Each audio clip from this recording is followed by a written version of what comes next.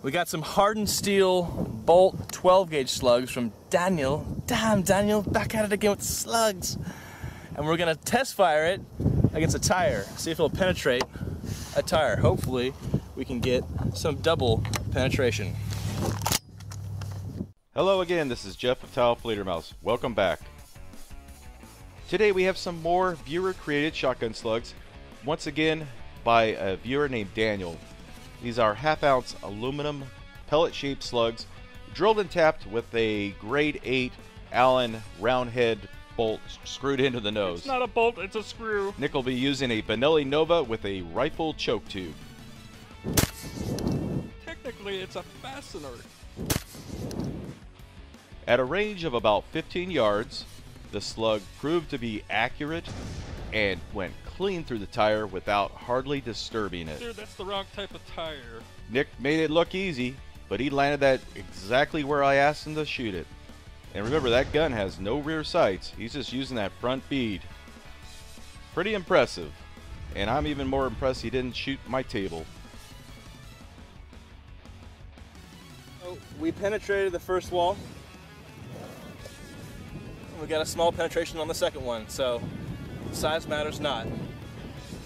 Next up, let's shoot the 7 inch solid lead disc at a range of 30 yards.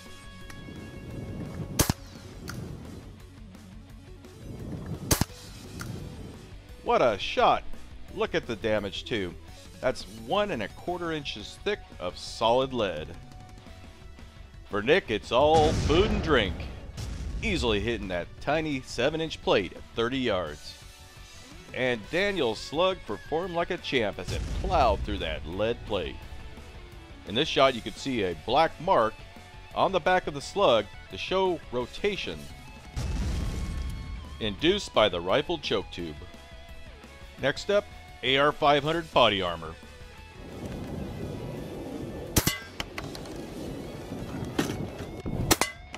Despite our efforts, the AR-500 plate was just too tough it did leave a scuff, but that's about it. The performance of the slug was still outstanding, flying flat, true, and accurate. And remember, this is a slug sent to us by a viewer. And if you think it's impossible to go through an AR-500 armor plate with a shotgun, look at that hole in the center caused by Tim Hamilton's Tactical G-Codes armor-piercing carbon fiber shotgun slug. But what about a soft target? Let's see how Nick handles this tiny, personal watermelon. Beautiful. Now, Nick, a trained U.S. Marine, handled this shotgun like it was a sniper rifle.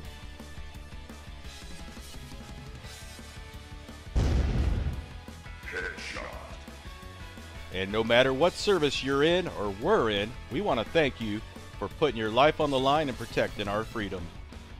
Of course, we can't overlook all the brave law enforcement officers out there trying to keep this crazy world safer for us. And remember, the best deterrent for a crazy person with a gun is always going to be a legal minded, sane person with a gun.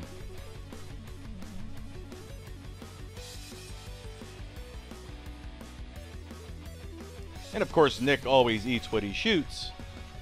Of course, he had a heck of a time eating that lead plate and chipped his tooth on that AR-500 armor plate. But in all seriousness, thank you for watching. I hope you enjoyed this.